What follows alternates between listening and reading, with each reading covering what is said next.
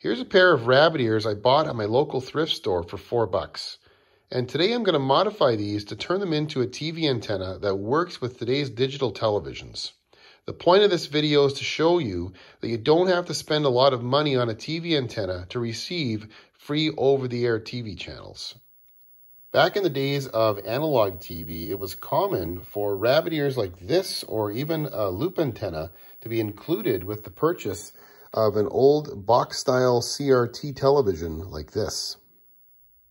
All of these old analog TVs always have this hole located in the top center of the TV set. And a lot of people might not know what that's for. Well, the purpose of it is to install your rabbit ears into, just like that. And then you would take your twin lead wire and connect that to a couple of terminals on the back of the television. And you could adjust your rabbit ears and pull in all your local analog TV stations. Well, with digital television, it's not quite that simple. And even though this old analog TV can no longer receive any digital channels, these rabbit ears are still useful. One of the other reasons I bought these rabbit ears besides the price is the fact that the elements on them measure 39 inches long, which make them perfect for low VHF TV reception. Most antennas made today don't have long elements made for low VHF, but in my area I have two channels on low VHF on channels 2 and 4.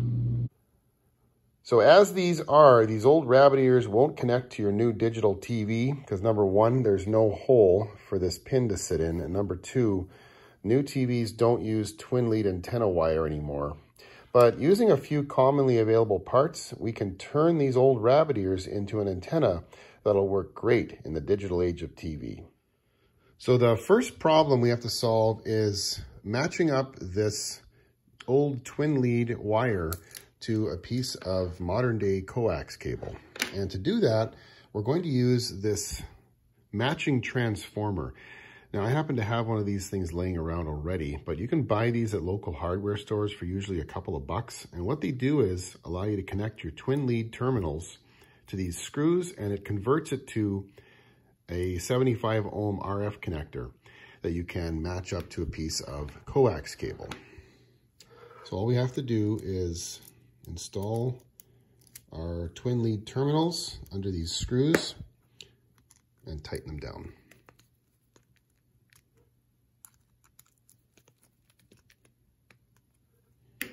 Just like that. Now the next step is to match up the coax cable to the 75 ohm transformer. And to do that, we're gonna use another commonly available part. This is known as an RF coupler. Normally this is used to connect two pieces of coax cable together to make a longer run of coax.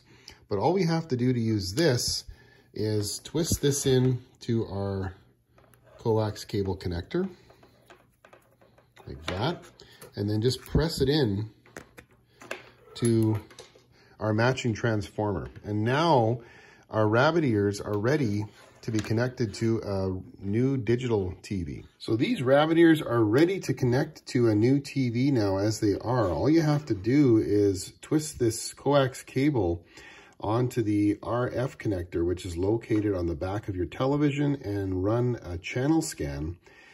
Now, if you have strong reception in your area, you could certainly use these as an indoor antenna. And if you want, you could actually just lay these behind your TV on a table but uh, if you want a little more flexibility in terms of being able to adjust these, I'm going to show you how to make a quick little stand out of some scrap wood.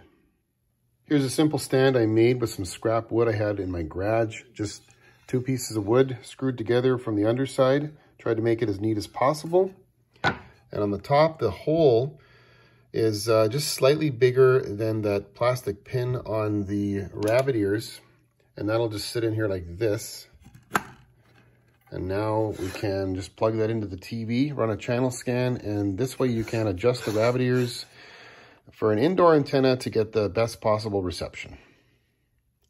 Now I have bad luck in my area when it comes to indoor TV reception. All three channels I get are on the VHF band, so an outdoor antenna is really a must. So what I'm going to do here is make another stand with a longer piece of wood to make a cheap outdoor TV antenna. So most of the wiring is going to be the same to turn this into an outdoor antenna. Of course, you're going to need a longer piece of coax cable, and I'm just going to make sure I secure these wires a little more just so they don't um, get strained or possibly break. I'm using a longer piece of wood this time. It's an 8 foot 1 by 4 So I drilled a hole on the top of the longboard, just like I did for the indoor version of this antenna, but I added a backer board behind it. Because this is going to be outdoors, I don't want the rabbit ears to twist around too much, so that keeps them in place from twisting and makes it a little more stable. And to keep this twin lead from flapping around too much or being snagged, I'm just going to use a tiny screw and just affix it to the board like this, just to keep a little bit of slack on it so that we don't have any straining on it. All right, so here it is all finished. All I have to do now is set it up extend these elements and aim the antenna. And to anyone that says this won't last long as an outdoor antenna, half of the outdoor antennas made nowadays are full of plastic. So even if this one fails after a few years, I'll only be out a couple of dollars and I'll still have reaped all the benefits of free TV. So for a stand, what I did was use this old concrete deck block that I had laying around and I just wedged a couple of 2x4s in it and then pushed the 1x4 board holding the antenna into that. And that was sturdy enough for such a lightweight antenna. And I ended up moving this antenna under the eave of my house just to afford it a little more protection from the weather. And uh, to prevent this coax cable from snagging or pulling on the twin lead wire, I used a zip tie around the coax cable and secured it to the board with a screw. And now we can go inside and see how a rabbit ear antenna is doing in terms of signal strength. So you can see we're getting some good signal strength from these old rabbit ears that I've turned into an outdoor TV antenna.